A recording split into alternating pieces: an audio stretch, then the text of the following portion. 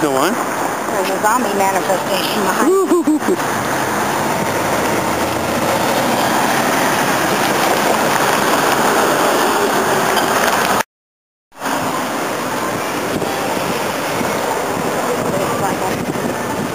Like a hobo type of Soho? The Soho? Mm-hmm.